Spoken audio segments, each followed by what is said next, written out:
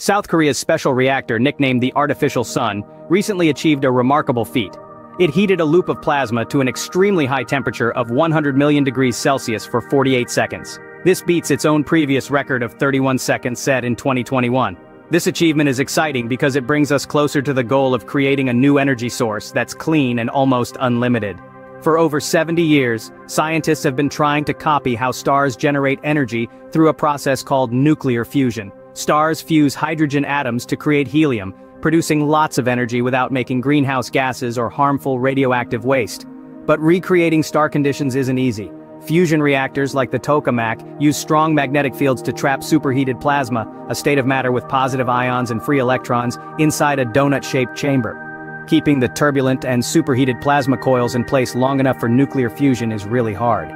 The first tokamak was designed by Soviet scientist Natan Yavlinsky in 1958, but no one has ever made a reactor that produces more energy than it consumes. One big challenge is handling the incredibly hot plasma needed for fusion. Fusion reactors need very high temperatures, much hotter than the sun, because they operate at lower pressures than in stars' cores.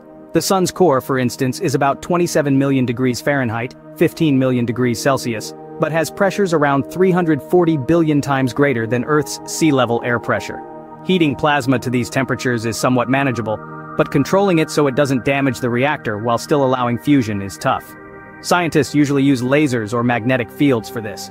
To make their plasma burn longer than before, the scientists made some changes to the reactor. They improved the divertors, which take out heat and ash from the reactor, by switching from carbon to tungsten.